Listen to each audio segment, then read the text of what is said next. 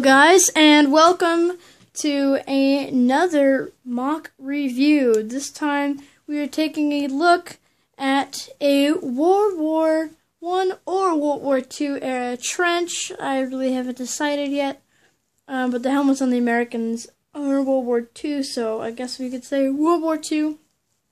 Um, and right now I'm just giving you a visual of the back of the German trench.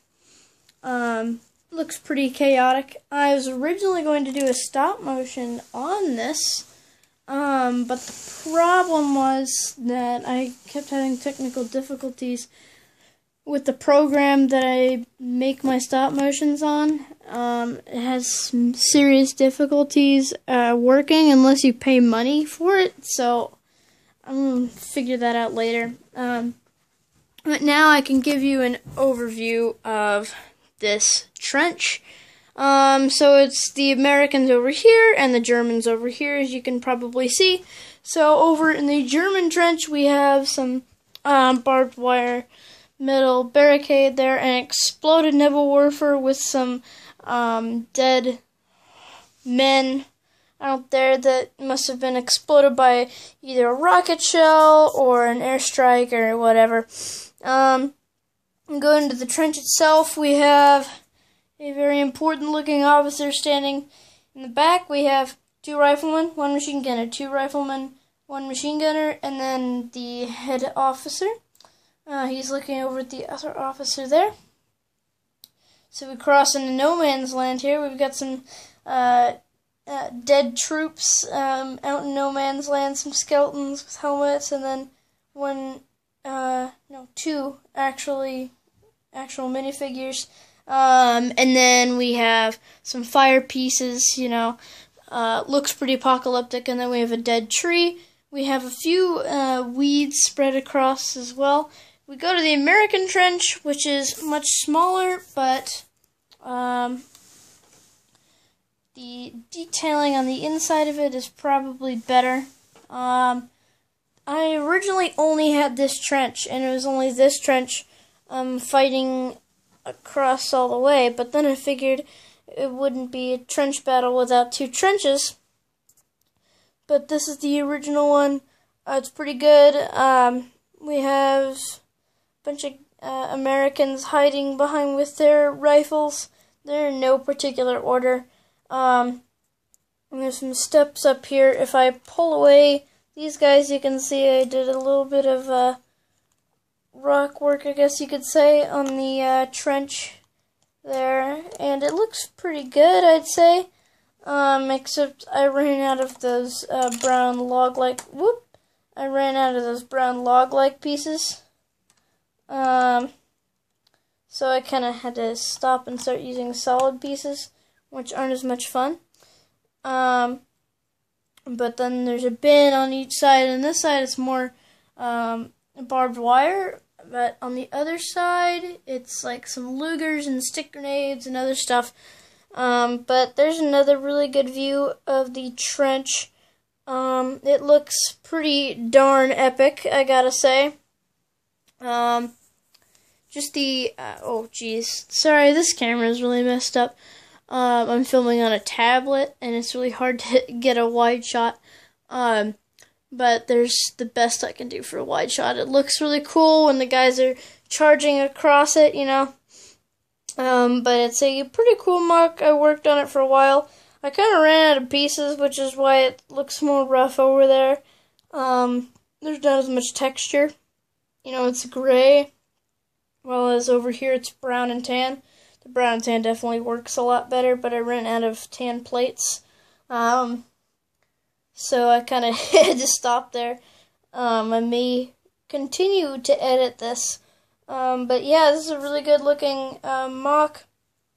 I actually need to uh, put those figures back on, so I'll actually put this camera in my little uh, Lego stand here.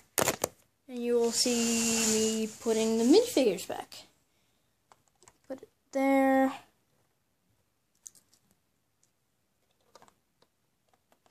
Oh yeah, this guy was back here. He is the commander.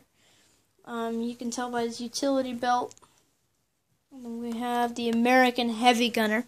So, yeah, that's basically what the American trench line looks like. And then we just kind of do a pan shot here. That looks really cool with the with the Germans over here. I want to put this um, straight across, but the problem is when I do that, the chain sags um, on the sandbank, which I don't want. Um, woo! Uh-oh. It's all coming apart.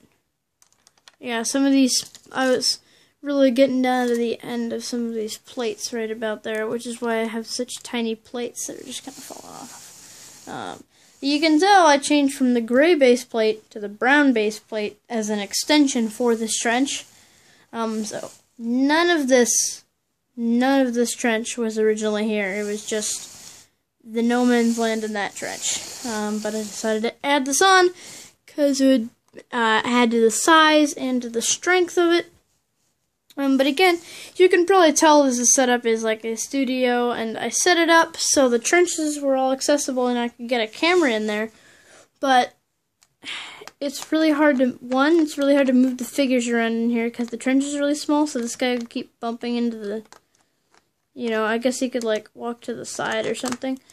Um, it goes for cool head movements, and then I'd move the fire pieces back and forth between shots, and that looked really good. Um, but the stop motion app I'm using, PicPac, um, it was really frustrating. I was working on it, and I've been working on it for about 15 or 20 minutes, um, but, you know, it just, uh, it wasn't coming out quite right. And I tried having an explosion, like a uh, missile that would, like, drop in here and boom, and it caught my hand in one shot, and I couldn't delete it without having to restart the entire stop motion unless I paid $4.69 to get Pro, which is just outrageous. You shouldn't have to, um, you know, pay money just to delete a photo that you didn't like in your stop motion. That's just ridiculous.